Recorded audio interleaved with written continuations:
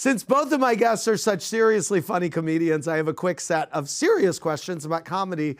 I want to take a trip outside the comedian's studio. So, for both of you, who was the first stand up to make you wet yourself laughing? Nicole, who was your first comedic hero?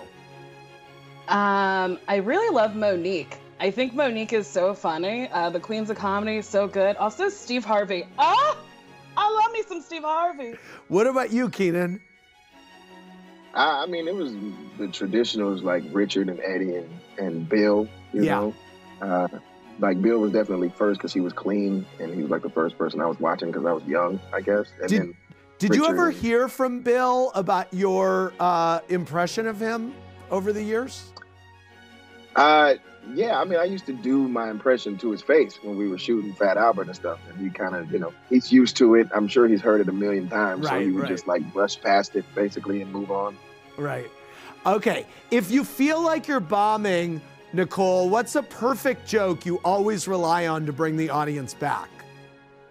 Uh, there isn't a perfect joke to bring back an audience. You just go, why don't you like me? And then sometimes they'll be like, because you're not funny. And you're like, oh, okay, thank you for the feedback. Kenan, what's the what is the worst heckling experience you've had?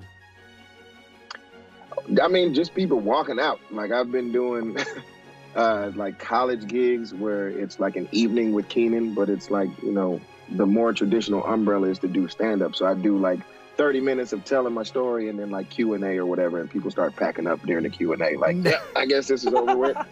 nice, nice. Um, Kenan, what is one celebrity impression you always try to do but you can never quite get?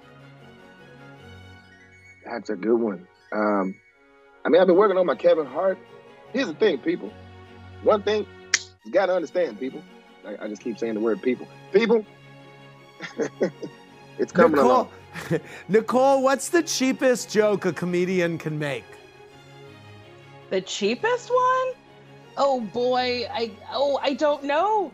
Uh, Good. Then that, anything that's just that's good that you don't know. know. All right, Yes. we will leave it there. I like that. Thanks for watching. Watch more clips here and subscribe to our channel here. See ya.